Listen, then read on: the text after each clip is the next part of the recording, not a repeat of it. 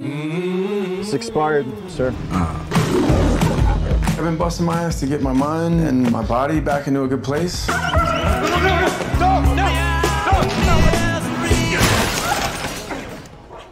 Oh my God, I can I can see. You're definitely not the girl I thought I'd be in the tub with, but I'll take what I can get at this point, I guess.